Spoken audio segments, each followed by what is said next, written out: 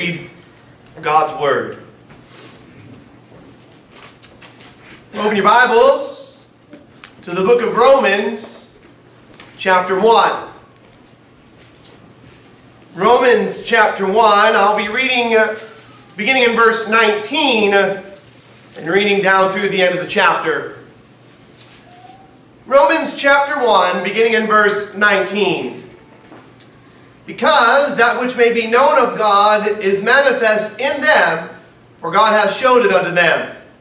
For the invisible things of him from the creation of the world are clearly seen, being understood by the things that are made, even his eternal power and Godhead, so that they are without excuse.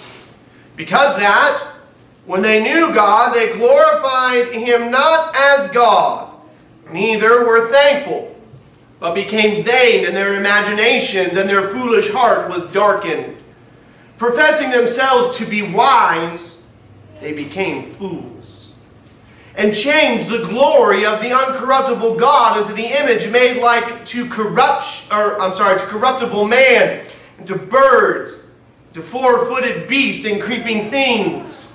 Wherefore God also gave them up to uncleanliness through the lust of their own heart, to dishonor their own bodies between themselves, themselves, who changed the truth of God unto a lie, and worship and serve the creature more than the Creator, who is blessed forever. Amen. For this cause God gave them up unto vile affections, for even their women did change their natural use unto that which is against nature.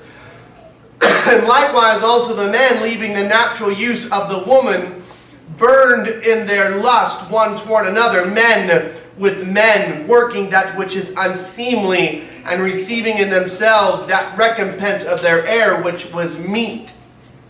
And even as they did not like to retain God in their knowledge, God gave them over to a reprobate mind to do those things which are not convenient being filled with all unrighteousness, fornication, wickedness, covetousness, maliciousness, full of envy, murder, debate, deceit, malignity, whisperers, backbiters, haters of God, despiteful, proud, boasters, inventors of evil things, disobedient to parents, without understanding, covenant breakers, without natural affection, implacable, unmerciful, who knowing the judgment of God, that they which commit such things are worthy of death, not only do the same, but have pleasure in them that do them.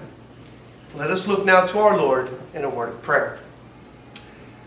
Our gracious Heavenly Father, we do thank you for your love to us, mercy and grace, and watch care over us. We thank you, our Lord, for the day that you have provided and blessed us with. We thank you for each and every one that is here today. And Father, we pray that you would be with us as we've assembled together in the house of the Lord, that in everything we say and do, that we bring honor and glory to thy name. I pray, Father, for Brother Jones, Sister Jamie, and, and Father, I pray that you would just continue to lead and guide them and, and help them, Lord, to, uh, to, to make this transition as smooth as possible. I pray for Brother Rick and Sister Joni as they'll be traveling, Lord, that you give them traveling mercies. I pray for each and every one of us that are here today. And Father, I ask that if there are any here that know you not as Lord and Savior, that this would be the day of salvation. And Father, I ask that you would be with me as thy servant, and may you give me liberty and unction from on high to present thy word in truth and in love. Forgive us of our sins, and these things we ask in Jesus' name. Amen. Thank you. may be seated.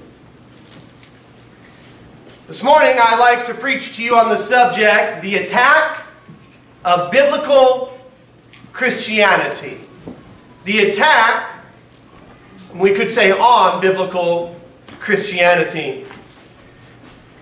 So I'm sure that by now you have caught on to the series of messages that the Lord has given me over the past couple of months. I'm really focusing on Christians being Christians following the Bible and living the principles of God's holy word. The text in which I have read to you this morning summarizes how we are as a culture today. Wherefore, verse 24, God gave them up to uncleanness through the lust of their own heart, to dishonor their own bodies between themselves, who changed the truth of God unto a lie, and worship and serve the creature more than the Creator, who is blessed forever. Amen. And so we have seen uh, in our culture today a massive uh, attack on biblical Christianity, a massive attack on the authority of God's Word. That they have served the creature, that is, the plant and the tree and the grass and all the different things in the beast, more than the one that created uh, the heaven and the earth. and we see people filled with unrighteousness and fornication and wickedness. We see haters of God. We see children disobedient to their parents. We see uh, all these different things the proud, the boasters, the inventors of evil things. We see that prevalent in our country today. And I set a challenge out to each of us as we closed out 2015. Do you remember what it was? It was, it was time for us to do something to teach the world about the Lord Jesus Christ in God's Word.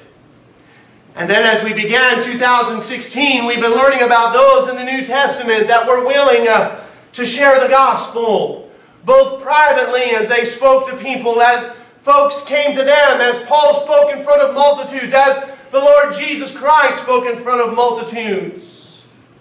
But they shared the gospel and just before all of that, what did we do? We spent some time and did a lot of lessons on Christian apologetics, spending some time of why we believe what we believe. Well, beloved, this past Friday, my daughter Dinah and I went to the Creation Museum.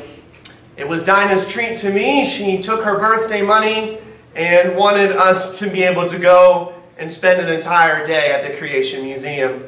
And if you know anything about me at all, you know how much I enjoy going to the Creation Museum. I'll tell you, a good time to go is January and February. Maybe no more than 300 people in the entire museum at any one time that day. We also have the blessed privilege of hearing Ken Ham in person, and then our favorite singer-songwriter, Buddy Davis, also performed that day. Of course, walking through the museum and just had a wonderful wonderful time. Getting to meet Ken Ham in person, the very founder of Answers in Genesis, and listening to him speak was probably the highlight for me.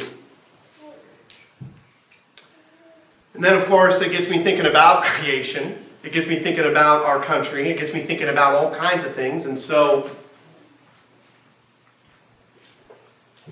you're going to get a bunch of that this morning, the Lord willing. One thing that is fascinating to me as I think about the attack of biblical Christianity is that the attack is not just with the culture. The attack of biblical Christianity is found in what would some call Christian quote unquote churches. That they are not holding to biblical creation. And when you don't hold to biblical creation, and when you don't hold to the first 11 chapters of the book of Genesis, and this board, we're going to show you some things, is why we're in the mess that we're in. That'll make sense in a minute. People, pastors, and members alike are not preaching about the Lord Jesus Christ and not teaching the history of the Bible. And I hear it all the time. Well, that's Old Testament and it's irrelevant. That is false and untrue. We need the Old Testament. God has left it for us in His Word. In these so-called Christian churches, they teach evolution and people are believing the lie of billions of years. And you think, that's radical and you're wrong, Pastor. I'm not. Not just because Ken Ham has said it. I did some research as well.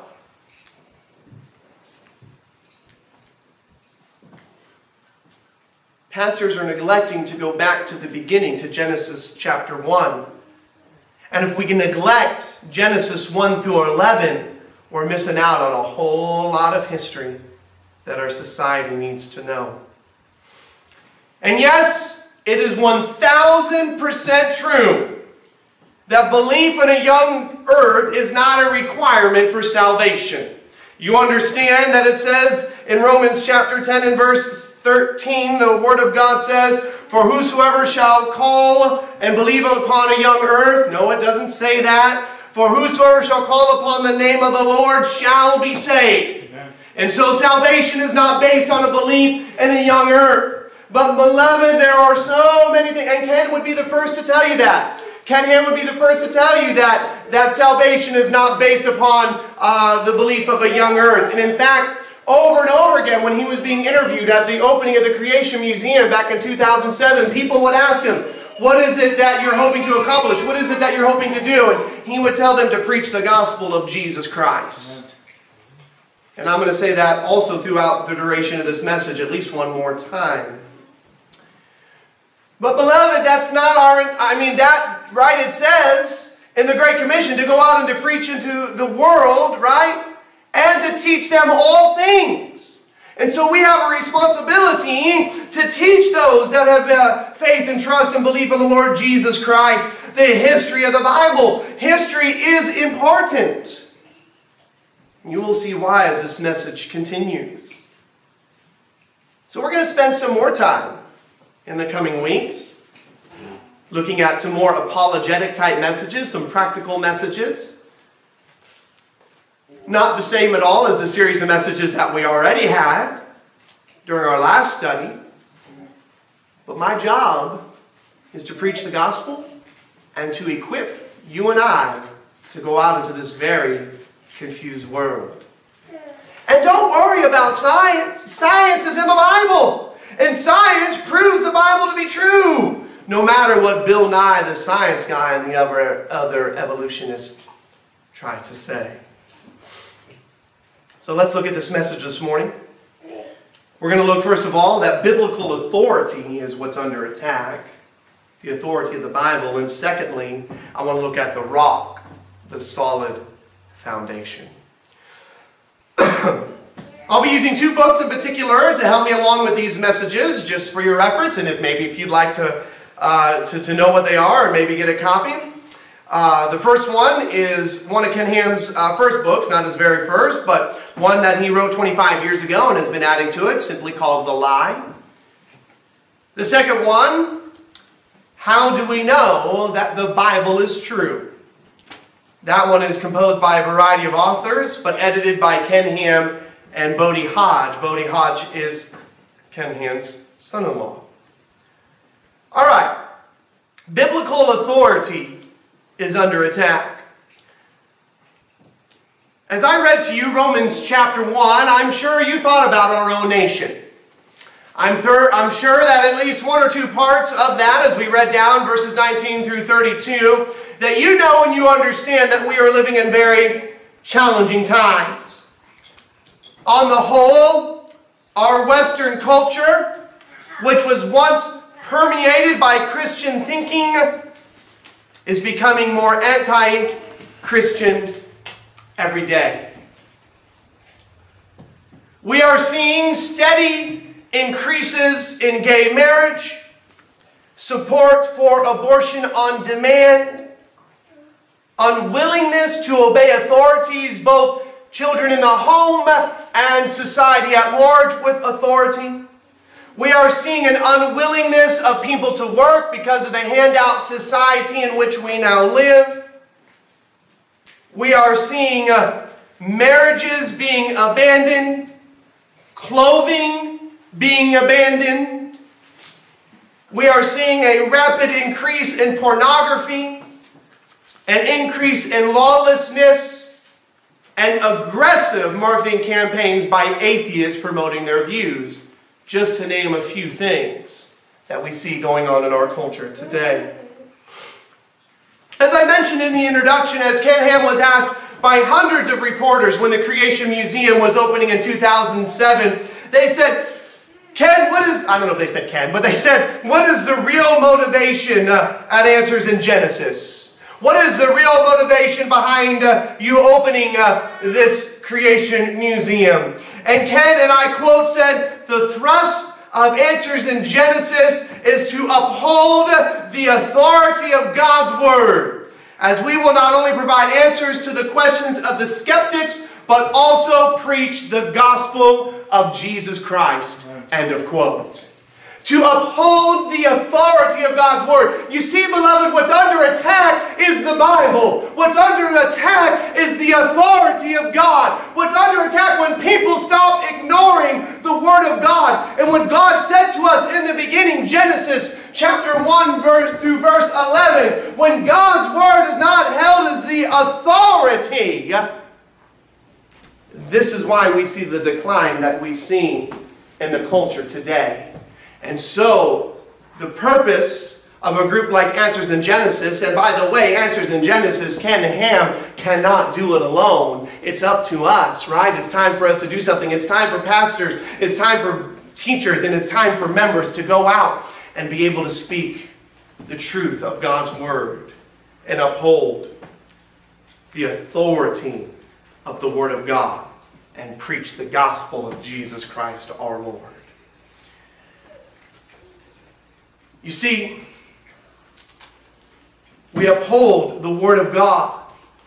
And the Word of God provides answers to the questions of the skeptics. And then we tell them about Jesus Christ. You see, it's God's Word that is under attack. And because Genesis 1 through 11, and because history, and we're going through, I, I'm telling you, I say this from time to time, I don't say it often enough, but I absolutely love going through the Old Testament on our Sunday school courses. One, because I still don't know enough about the Old Testament as I should, and Brother Terry makes that pretty much known every week. Anyway, in love. In love, that's right. But it teaches us so much about the world that we live in today. So much of, of why we do what we do today is because of what God said back in His Word. So it's God's Word that's under attack. And because history is no longer important in the churches, and the humanistic mind set begins to come out, all this is, is just another book. That's all that it becomes. That's all it becomes to my children and to your children.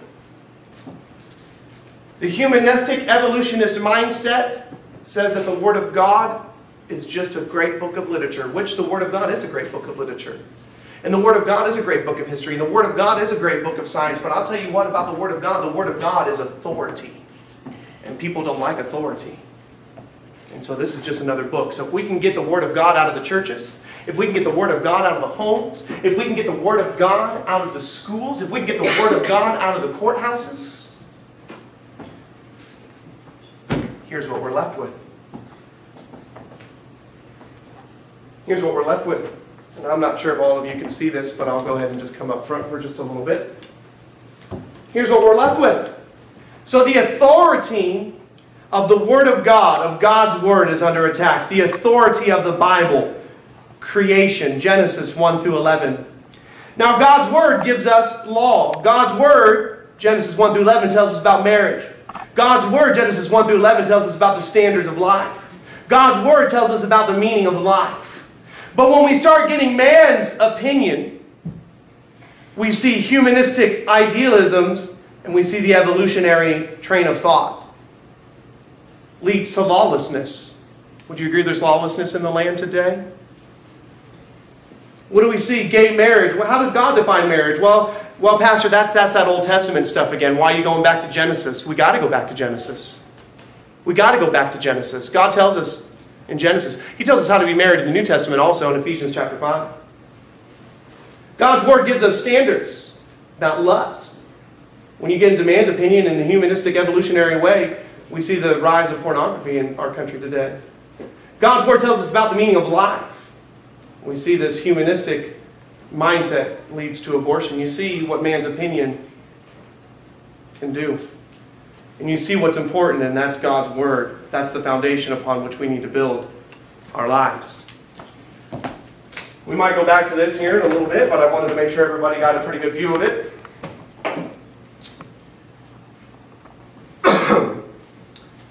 so as generations as I said, this is a generational problem. But as generations begin to reject God's word as the reliable, you know God's word is reliable, amen? Can I get, I mean, God's word is reliable. God's word is reliable and God's word is authoritative. And as people and generations begin to reject God's word as the reliable or authoritative source, we have an overwhelming amount of people that have brought the idea of evolution and billions of years that have come in to build a secular worldview based on moral relativism. You say, what's moral relativism? You know what it is. You've heard of it. You have your way and I have mine. It's all relative unto how I feel. Moral relativism, there's no right and there's no wrong. You know, it's interesting, right? So they are desecrating, I say the gay and homosexual movement, desecrating God's design for marriage, uh, ignoring the biblical authority where one man and one woman should come together. that's interesting, though, they want to keep the two part, right? They want to keep the two part, right? But they want to get rid of God's part. People want to keep what they want to keep. And because of moral relativism, the culture at large says that's okay. Guess what? It's not okay because God's word is the standard, and God's word says one man and one woman. So it's biblical authority that's under attack. Naturally, then, when I say biblical authority is what's under attack, what we're saying is that God is under attack. God, and, and really, that's just ludicrous because we know that at the end, God will win. Amen. Jesus Christ is victorious. Beloved, I tell you now, and I've said already, there is an absolute, and it is God's Word. And I'll also tell you now that hearing about it just a couple of times a week in church is not enough. We have got to permeate our lives with this stuff. And that's what I'm going to talk about in a second. God's word is true, God's word is authoritative, and God's word is right. And we're going to spend more time next week, the Lord willing, in being able to see that the Word of God is true once again. Not using the same lesson, using something totally different. But I'll tell you now, and I'll read to you the scripture in 2 Timothy chapter 3 in verses 15 through 17, 2 Timothy 3, 15 through 17, and that from a child thou hast known the Holy Scriptures, which are able to make thee wise unto salvation through faith which is in Christ Jesus. All Scripture is given by inspiration of God and is profitable for doctrine, for reproof, for correction, for instruction in righteousness, that the man of God may be perfect, thoroughly furnished unto all good works. The Word of God is true, and we'll talk about that later. But as I said, it takes more than me talking to you about it a couple of times a week, a couple of times a month, three or four times a year. We have got to permeate our lives with this. Listen to what the Word of God says in Matthew chapter 12 and verse 34. We have got to be willing to talk about biblical creation and biblical marriage and biblical, just biblical everything. In the book of Matthew chapter 12 and verse 34, the Word of God says this, Oh, generation of vipers! How can ye, being evil, speak good things? For out of the abundance of the heart the mouth speaketh. So what's in the abundance of your heart? Evil things, good things. Get the Word of God in you. Get the history. Get it in you. And tell people about Jesus Christ. In the book of Proverbs, chapter 23 and verse 7, the Word of God says this. Proverbs chapter 23 and verse 7. For as he thinketh in his heart, so is he. Pretty convicting. What you thinking about in your heart? Eat and drink, saith he to thee, but the heart, but his heart is not with thee. What's your heart full of? Secular, humanistic thinking, where where uh, you know we don't want to we don't want to preach about God's word. We don't want to talk about creation. We don't want to talk about authority. People don't like authority. They don't like and, and of course the lack of authority has led us to all kinds of lawlessness and all the, all this stuff. What are you filling your heart with? What are you filling your mind with? It's important. You see, beloved, when people ignore Genesis 1 through 11, and ignore biblical authority and start buying into humanistic ideologies in our schools, in our workplaces, and in our government.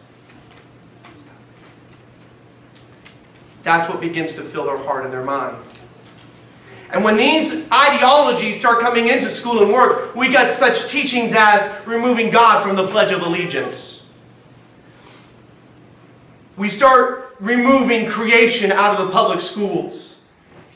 And this one's really tough because most children only get a few short hours of creation. And then their friends and their teachers and everybody else tries to erase the few short hours of creation that they get in the house of God.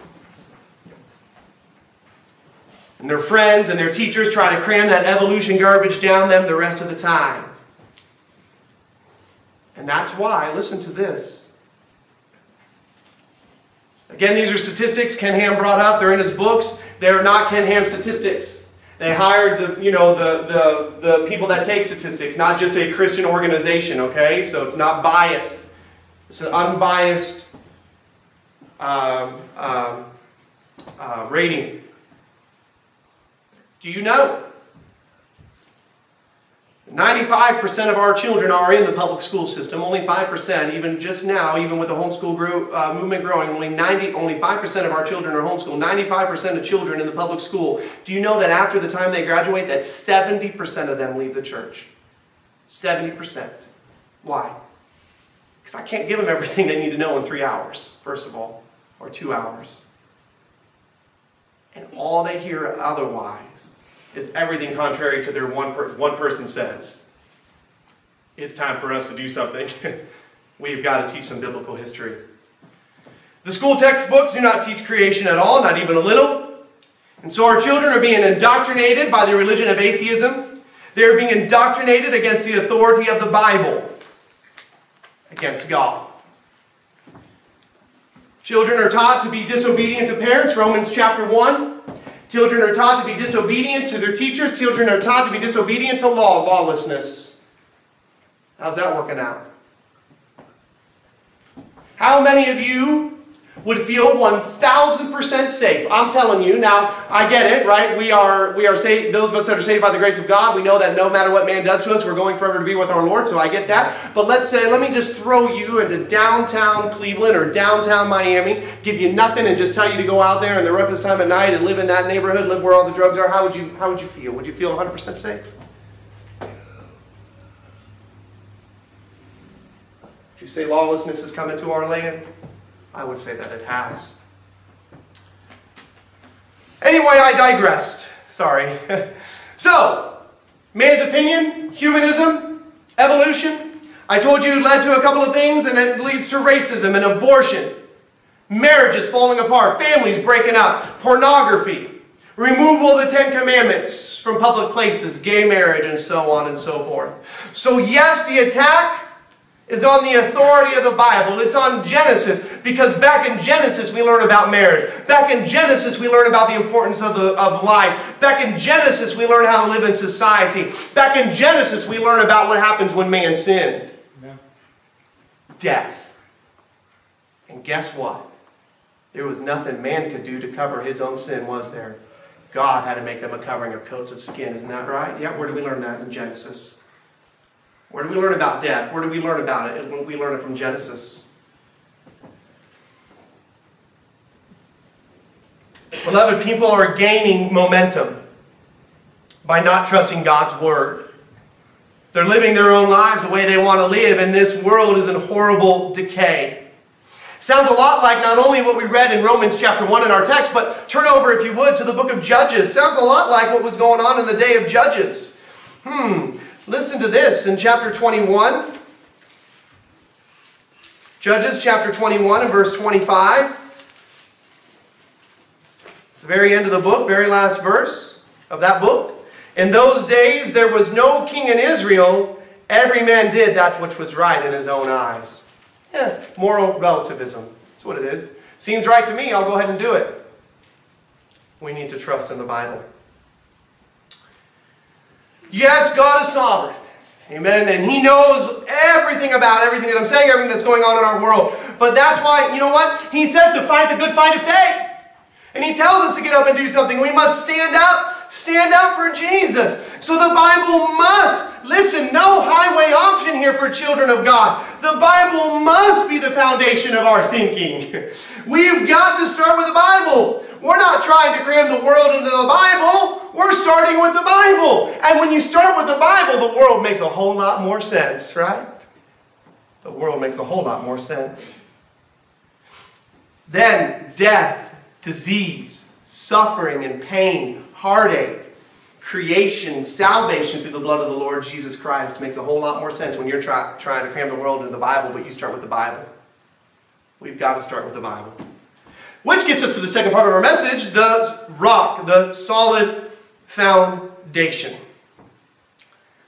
Now we see all around us, if I said in this message, that the foundation is being ignored and beaten down. Turn, if you would, to Psalm chapter 11 and verse 3. Psalm 11 and verse 3. And here's what God's word says Psalm 11 and verse 3 If the foundations be destroyed, what can the righteous do?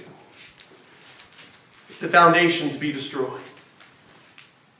So, beloved, my brothers and my sisters, my young and my old, I, sorry, wow, right back there. What we need to do return to the solid foundation of the Word of God. What we need to do is return to the solid foundation upon which we were built. You know what that is, don't you? You better believe it. Yes, the Lord Jesus Christ, the rock that he established his church upon. And turn over, if you would, to the book of Matthew, chapter 16 and verse 18. And I'm just, I got to get to these kind of quick, so I'm just going to get to it and read it. Matthew 16, 18, and the Word of God says, And I say also unto thee that thou art Peter. Watch this. He says, You're Peter. You're a man. Right? He says, Peter, thou art Peter, but upon this rock. In other words, Peter, I'm not going to build my church upon you. I'm not going to build my foundation upon you, Peter. You're just a man. And you're fallible. And you're imperfect, Peter. He says, I will build my church, and the gates of hell shall not prevail against it upon this rock, upon the Word of God, upon the authority of God's Word. That's the foundation that we need, upon the rock. Upon the rock. And then over there the book of Ephesians, chapter 2 and verse 20, Ephesians chapter 2 and verse 20, the Word of God says over here, Oh, that doesn't help. I put a bookmark in the, right in the middle of the New Testament. That's right where I went. Ephesians chapter 2 and verse 20. And are built upon the foundation of the apostles and prophets, Jesus Christ himself being the chief cornerstone. We need to get to the foundation of the Lord Jesus Christ, the teaching from his very word. We cannot and should not be ashamed to speak up and speak out against the moral issues of our day. And listen, the moral issues of our day lead us to be able to talk about God's Word and salvation. You say, Pastor, how's that work? Well, I'm going to tell you. So we know about the moral issues of the day. We know about abortion and pornography and God, uh, you know, gay marriage and lawlessness and all the issues of the day. And you say, how are we going to preach Christ? Well, you can preach Christ, right? We've been talking about that in the last four or five weeks.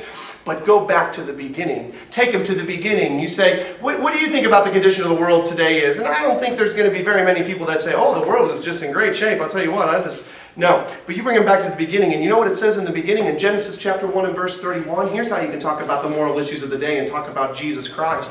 Here it is. In Genesis chapter 1 and verse 31, the Word of God says, And God saw everything that He had made, and behold, it was very good. So you tell them about the beginning. You tell them about how God, in the very beginning, He created everything, and everything was very good. And then you can begin to talk about death, which means you're going to talk about sin. You're going to talk about how there's disease and decay and immorality. How? Because you went back to the beginning and you told them that in the beginning of creation, God said everything was very good. But, Pastor, they don't like creation. They don't want me talking about it. Hey, listen, if they're going to talk to you about all their stuff, then I tell you what, they hopefully will respect you enough that you can talk to them about yours. And you bring them back. So, yeah. We can tell them that everything was very good. And tell people that God created everything. And that because of sin, we have death. Because of sin, we have death. Once again, we tell them the beginning and we tell them about death and sin. And because we can tell them about death and sin, guess what else we can tell them about? The redemption that is in Jesus Christ our Lord. Amen. Is history important? Is the foundation of the Bible important? You better believe it. You better believe it. It's good for us today. You can tell them about the redemption that is in Jesus Christ and Him alone. So, yes, I say, yes, you can use the moral decay of our day to tell people about creation and about the beauty of life, about the beauty of marriage, and why marriage is one man and one woman. And then that brings everything to the history of Genesis. And then we tell them Romans 3.23, don't we? For all have sinned and come short of the glory of God. We tell them that man sinned. We tell them that all have sinned and come short of the glory of God, as it says in Romans 3.23. And then we can bring them to Romans 6.23, right? For the wages of sin is death. We tell them about death. But then we tell them something else, don't we? We don't leave them there. So we talk about the moral decay of our society. we tell them about how God created and how everything at the beginning was very good. We tell them about death. We tell them about the wages of sin being death. But then we tell them about the gift of God. We tell them about eternal life through Jesus Christ our Lord. And then we bring them over there. What? Then what do we do? Well, we can bring them over to Romans chapter 10. And we can tell them about verses 9 through 13. And we can tell people that if thou shalt confess with thy mouth the Lord Jesus, and shalt believe in thine heart that God hath raised him from the dead, thou shalt be saved. We can tell them about their heart. We can tell them about Jesus Christ. We can tell them that it says in verse 13, For whosoever shall call upon the name of the Lord shall be saved. We can tell them about the grace of God in Ephesians chapter 2. For by grace are you saved through faith, and that not of yourselves. It is a gift of God, not of works, lest any man should boast. Isn't that awesome what we can tell them when we start with the beginning, when we start in creation? Isn't it awesome what we can tell them about the Lord Jesus Christ, when we tell them about the beginning, when we tell them that God created a perfect world? It's awesome.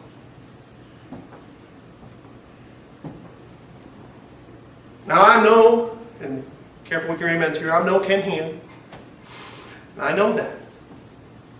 And as I said, he's one person. And there's, you know, of course, there's those on the staff there, David Morton and some others, Jason Lisle. You know, Jason Lisle's the astronomer, by the way. If you've ever been to the Creation Museum and you see that planetarium, he's the one that figured out all those distances. Well, I mean, he and other scientists, all the distances and all the cool things. And, you know, basically with all the stars, all the universes, all the galaxies, right? What does God say? He made the stars also, right? You can bring, you can point people to Jesus Christ. You can point people even by astronomy, even by, you know, the stars in heaven. We don't have to ignore the stars. They're there. Right?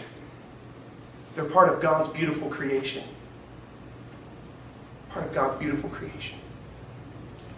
You tell them how God created everything good. You tell them how man sinned. And then you tell them about the redemption that is in Jesus Christ. I mean, that's a great plan right there. You can't go wrong when you tell people about Jesus Christ our Lord.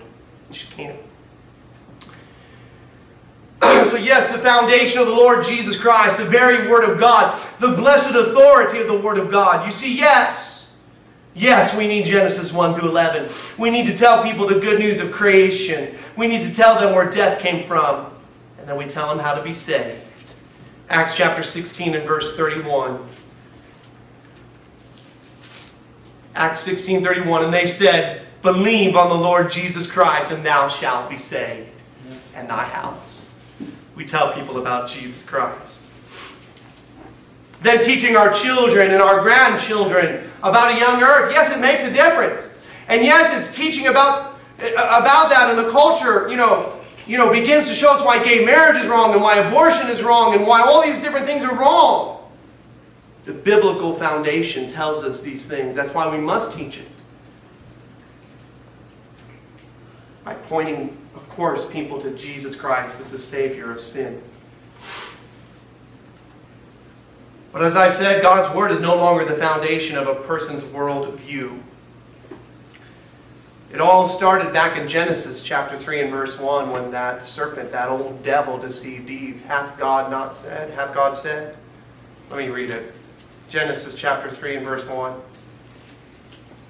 Now the serpent was more subtle than any beast of the field which the Lord God had made. And he said unto the woman, Yea, hath God said, Ye shall eat of every tree of the garden. The serpent planted doubt, verse 4. And the serpent said unto the woman, Ye shall not surely die. So the devil's been after the authority of God's word from the very beginning. So, beloved, let us stand up for the authority of God's Word.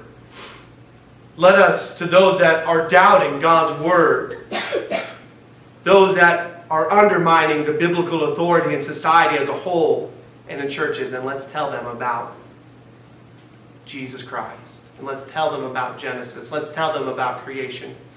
So as we close, that's why the Lord, I believe, one of the many reasons why the Lord tells us in the book of Matthew to what? To be salt and to be light. We must fight the good fight of faith, as it says in Timothy, willing to be light in this dark world. And today, this morning, I know you've heard a lot, right? You've heard that the authority of God's Word is under attack. You've heard about our country today, about our nation, about our world. You've heard about the beauty of creation. You've heard about sin and death. But most of all, and I do mean most of all, I hope that you've heard from the Word of God about the Lord Jesus Christ, yeah. the one who saves sinners. You know, He saves sinners. He saved me. I know He saved some of you that are here. May God use His Word and add the blessing to it. I thank you for your attention to the Word of God this morning. As we stand in prayer, God has worked the work of grace in your life, and you'd love to come and tell us about it. We'd love to hear about it. We dismiss in prayer, uh, again, you just come and you can tell us what you need to tell us. It'll be great. Remember to pray for the food. Come back at around 1 o'clock. May God use His word and add the blessing to it. Brother Terry, if you would please pray for us.